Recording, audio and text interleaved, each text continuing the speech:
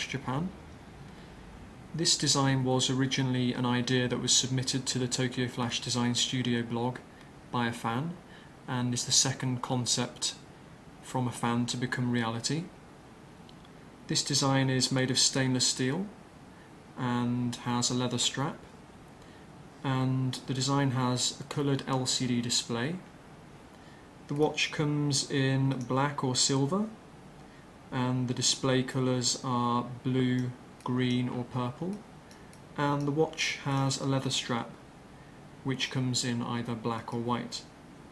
So this is the black stainless steel version with black strap and blue display and the watch is very simple to read. Instead of displaying the time with numbers it shows the time with words.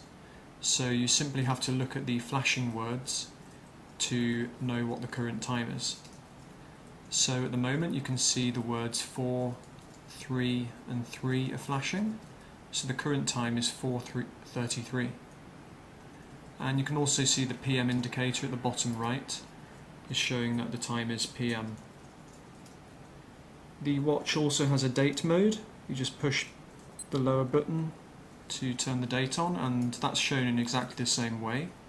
So you can see 705 is flashing, so it's July 5th. And the watch is very comfortable on my wrist. It would be suitable for guys or girls. It's quite a slim watch. It's quite light. And uh,